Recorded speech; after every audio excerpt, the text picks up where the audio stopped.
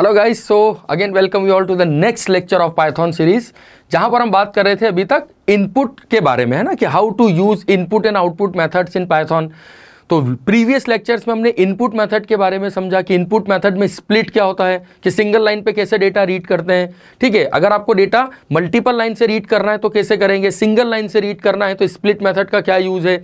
अब अपन आते हैं यहाँ पे how to use print method in python with the different कि यदि आपको पाइथन में प्रिंट मेथड को यूज़ करना है अलग अलग तरीके से अगर आप प्रिंट मेथड को यूज़ करना चाह रहे हैं then how we use print method in python okay तो चलिए देखते हैं इस कॉन्सेप्ट को, लेकिन इसके पहले वीडियो को यस शेयर करिए सब्सक्राइब करिए लाइक करिए चैनल को सब्सक्राइब करिए, और ज़्यादा से ज़्यादा लोगों तक ये वीडियो शेयर करिए प्लीज़ ताकि maximum people get benefited you know this is a completely free course और मैंने आपको पहले भी बोला है कि इस पूरे पाइथन कोर्स का स्टडी मटेरियल भी फ्रीली डेटा फ्लेयर की वेबसाइट पर अवेलेबल है, जिसकी लिंक आपको इसी वीडियो में नीचे शेयर की गई है। तो आप प्लीज़ डेटा फ्लेयर की वेबसाइट पर जाके उस स्टडी मटेरियल को भी यूज़ करें रिफ़र करें अपने फ्रेंड्स को ताकि मैक्सिमम लोगों को इंटरव्यू क्लियर करने में परेशानी ना हो। तो जैसे आपको नहीं होने वाली है, ये मेरी श्योरिटी है, ठीक है? चलिए तो बात करते हैं प्रिंट मेथड के बारे में कि how many ways we use print method in python कैसे हम प्रिंट मेथड को यूज़ करेंगे? लेट्स थी सिंपली अगर हम बात करें सपोज़ यदि मेरे पास डेटा है है ना? ये मतलब प्रिंट में फॉर्मेटेड स्ट्रिंग की भी हम बात करेंगे। जैसे सपोज़ अगर मेरे पास डेटा है A equal to ten and suppose B equal to twenty and this is a type of integer data okay ये मेरे पास इंटीजर टाइप का डेटा है। और अगर मुझे इंटीजर टाइप की वैल्यूज़ को प्रिंट करना है ओके okay, तो इसका सिंपल सा एक तरीका क्या है? जैसे अगर मान लो आपने लिखा C equal to A plus B है ना? ए की वैल्यू टेन है बी की वैल्यू ट्वेंटी है। अगर मुझे वैल्यू प्रिंट करना है तो मैं या तो इसको ऐसे लिखूँगा, या मैं लिखूँगा प्रिंट वैल्यू या एडिशन देखो आप एडिशन इज़ सी ठीक, आप सिंपली ऐसा लिखोगे कि ए की वैल्यू टेन है बी की value twenty addition is C पर आप समझना, हमेशा प्रिंट स्टेटमेंट में हम इस चीज़ को ध्यान रखते हैं कि आप जब डेटा प्रिंट कर रहे हैं जब आप डेटा प्रिंट कर रहे हैं so that would be easily understand by the user कि जो भी आपके प्रोग्राम का आउटपुट देख रहा है, उसको क्लियरली समझ में आना चाहिए क्या बोलना क्या चाह रहे हैं। आपने बोला एडिशन इज़ थर्टी तो ही गॉट कंफ्यूज कि एडिशन किसका है? मतलब आपने तो वैल्यू फिक्स की हुई है ना। आपने तो दो नंबर फिक्स कर दिए। तो प्रिंट करते टाइम अगर मैं यही आउटपुट देता addition of ten and twenty is thirty तो शायद रिज़ल्ट थोड़ा प्रॉपर समझ में आता। बात समझ में आ रही है? ठीक है तो यदि आपको लगता है कि पाइथॉन में आपको डेटा थोड़ा फॉर्मेटेड वे में प्रिंट करना है we want to print a data in formatted way ठीक? तो फॉर्मेटेड के लिए हम पाइथॉन में फॉर्मेटेड स्ट्रिंग यूज़ करते हैं ना? We have a formatted string in python to which we are going to use with print statement कि हम प्रिंट स्टेटमेंट में डेटा फॉर्मेटिंग करने के लिए there are number of ways in python to format your data लेकिन one of the best option is formatted string तो ये formatted string को यूज़ करके हम पाइथन में किस तरीके से डेटा प्रिंट करेंगे? ओके okay, और प्रिंट मेथड का सिंटेक्स क्या है? चलिए फॉर्मेटेड स्ट्रिंग पे भी हम बाद में बात करते हैं। पहले तो ये कि प्रिंट मेथड का सिंटेक्स क्या है और प्रिंट मेथड कितने तरीके से डेटा प्रिंट करेगी using this formatted string okay तो प्रिंट मेथड जो है आप देखिए इसका सिंटेक्स क्या है? First whatever the data you want to print that you have to write इसके बाद there is an option called separator ठीक है? And then there is an option call end मतलब आपको डेटा कौन सा प्रिंट करना है? ठीक है? उस डेटा के बीच में अगर आप कोई सेपरेटर यूज़ करना चाहते हैं तो आप वो भी कर सकते हैं। And how you can end your data आप अपना डेटा एंड कैसे करना चाह रहे हैं? ठीक है? मतलब डेटा तो प्रिंट करना ही है पर डेटा के साथ आप सेपरेटर को भी यूज़ कर सकते हैं और आप डेटा एंड भी कर सकते हैं। मतलब how to end the data अब ये सेपरेटर और एंड का मतलब क्या है? आई विल शो यू फिर मैं फॉर्मेटेड स्ट्रिंग पे आता हूँ। ये है सिंटेक्स की डेटा के साथ आप सेपरेटर और एंड को कैसे यूज़ करोगे? तो सपोज़ अगर हम बात करें, यदि मेरे पास है, अभी मैं इसको हटाता हूँ, क्योंकि फॉर्मेटेड स्ट्रिंग पे अपन दो मिनट में आते हैं। पहले आप इसको समझो right a equal to suppose hundred b equal to suppose twenty है ना? We have this data a equal to hundred b equal to twenty clear है? अब यदि मैंने लिखा कुछ इस तरीके से प्रिंट समझना ध्यान से print value is value is a comma b है ना? सपोज़ अभी मैंने ऐसा लिखा value is a comma b but I want that कि इस ए और बी की जो वैल्यू है, इसके बीच में मुझे इस तरीके से कॉलन चाहिए। I want colon in this to be right तो इसके आगे मैं क्या लिखूँगा? Comma separator equal to double quotes में colon comma separator equal to double quotes में कॉलन सो जितनी वैल्यू आपकी प्रिंट होंगी, उन सारी वैल्यू के बीच में मुझे कुछ इस तरीके से आउटपुट मिलेगा. अब वैल्यू इज़ ए और बी के बीच में मुझे मिलेगा सेपरेटर मतलब this is what hundred colon two hundred sorry twenty whatever the value you have तो जब भी आपको दो वैल्यू के बीच में सेपरेटर चाहिए then we have the option in this print method ACP separator और यदि आप चाहते हैं कि आप जब डेटा मतलब ये चॉइस की बात है, आपको यूज़ करना है या नहीं that is your wish but Python is having an option okay यदि मैं चाहता हूँ कि जब ये डेटा प्रिंट हो तो एट द एंड मुझे कुछ इस तरीके से वैल्यू मिलना चाहिए समथिंग ठीक है ten colon twenty and I I want at line at the end तो here again comma and there is a math option call end equal to, and equal to. This and and separate are basically used with print statement. And equal to, and this one.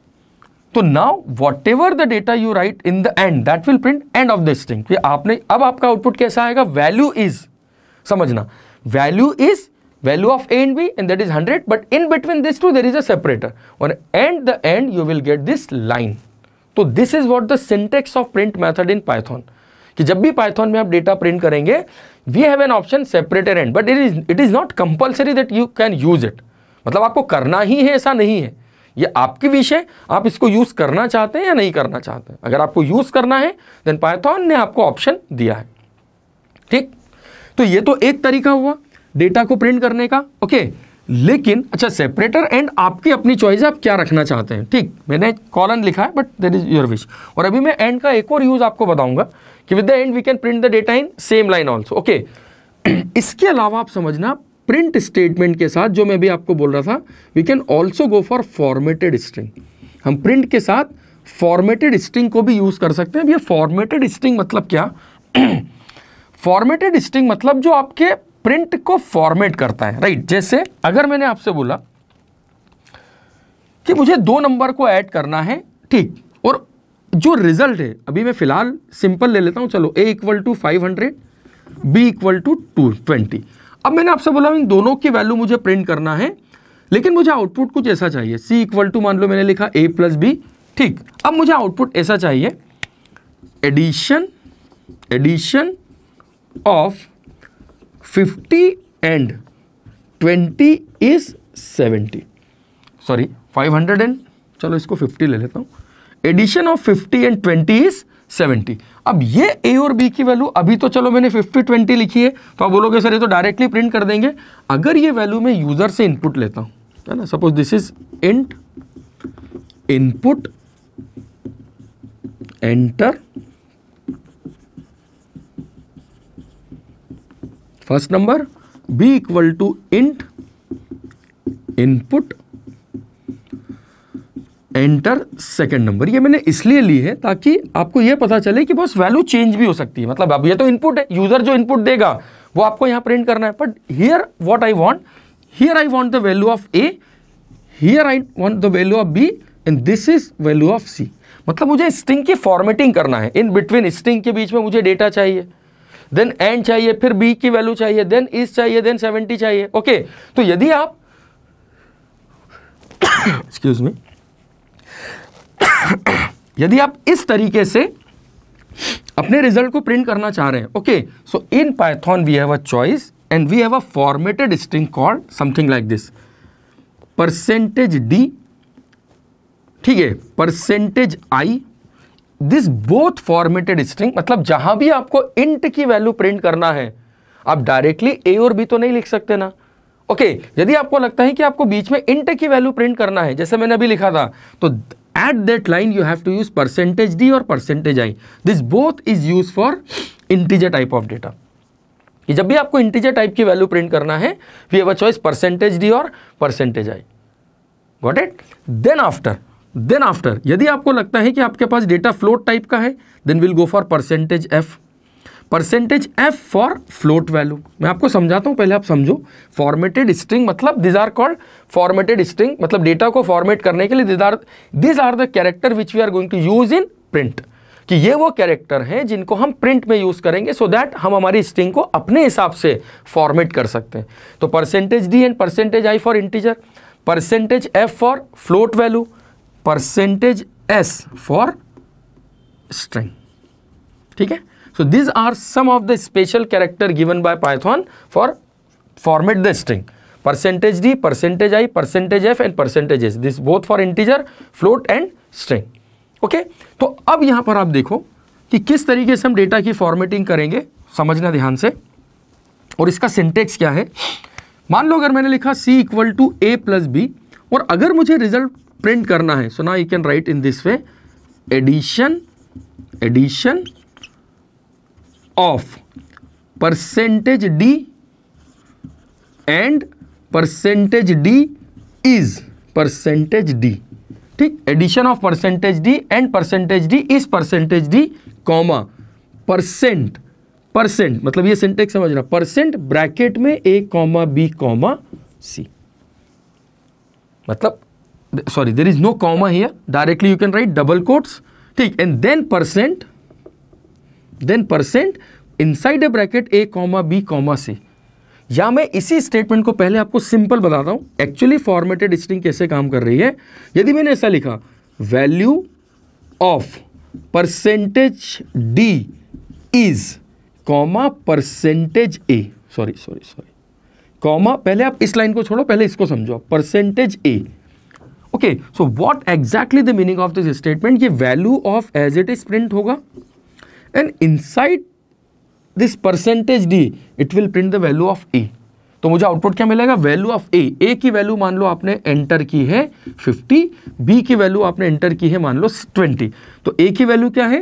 50 value of ए 50 तो आपको output क्या मिलेगा? Value of 50 is something like this ये तो मैंने आपको एक format बताया है।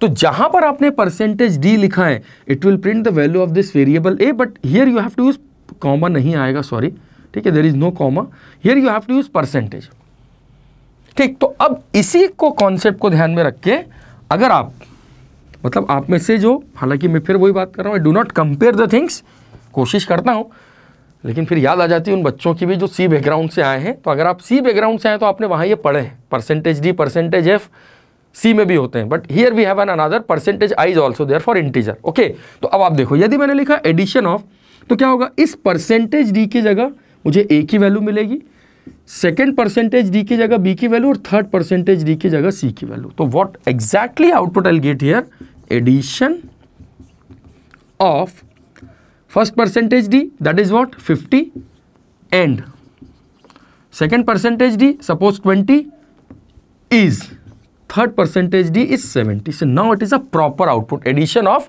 50 and 20 is 70.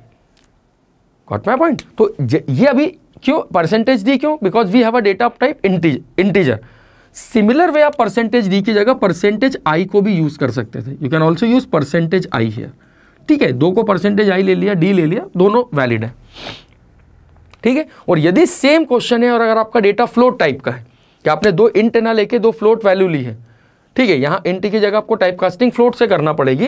तो उस केस में, मान लो ये एडिशन ये क्लियर हुआ addition of two number using int value ठीक, और परसेंटेज डी और परसेंटेज आई।